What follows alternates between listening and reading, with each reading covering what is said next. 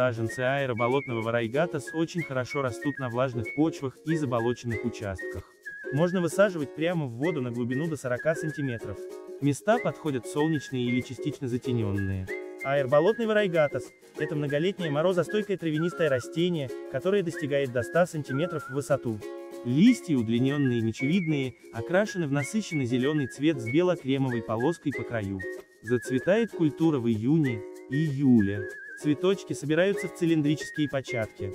Используют растения для оформления водоемов, создания интересных ландшафтных композиций с другими многолетниками. Аэрообыкновенная варайгатас – это высотой от 60 до 80 сантиметров.